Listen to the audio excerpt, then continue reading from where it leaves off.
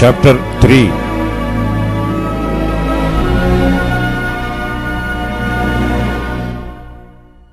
Then Naomi, her mother in law, said unto her, My daughter, shall I not seek rest for thee, that it may be well with thee? And now is not Boaz of our kindred, with whose maidens thou wast? Behold, I winnoweth barley tonight in the threshing floor.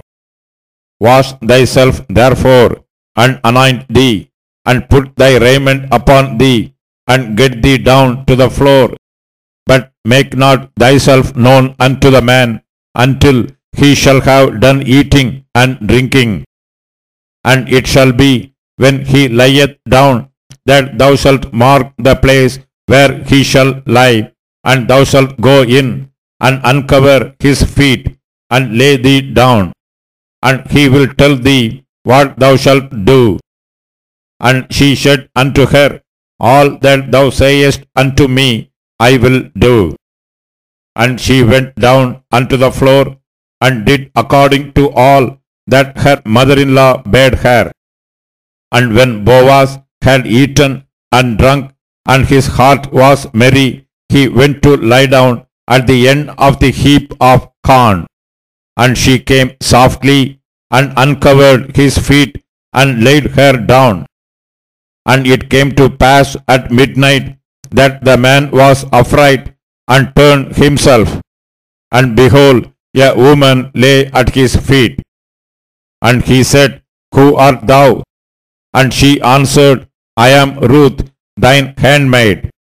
Spread therefore thy skirt over thine handmaid, for thou art a near kinsman. And he said, Blessed be thou of the Lord, my daughter, for thou hast showed more kindness in the latter end than at the beginning, inasmuch as thou followest not young men, whether poor or rich. And now, my daughter, fear not. I will do to thee all that thou requirest. For all the city of my people doth know that thou art a virtuous woman. And now it is true that I am thy near kinsman, howbeit there is a kinsman nearer than I. Tarry this night, and it shall be in the morning that if he will perform unto thee the part of a kinsman, well, let him do the kinsman's part. But if he will not do the part of a kinsman to thee, then will I do the part of a kinsman to thee, as the Lord liveth. Lie down until the morning. And she lay at his feet until the morning, and she rose up before one could not know another. And he said, Let it not be known that a woman came into the floor. And he said, Bring the veil that thou hast upon thee, and hold it.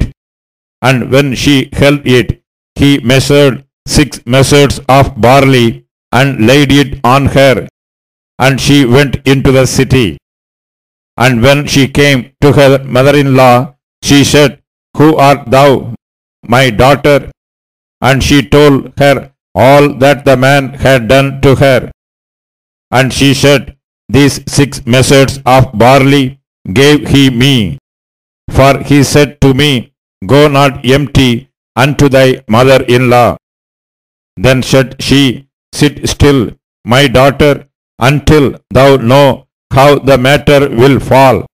For the man will not be in the rest until he have finished the thing this day.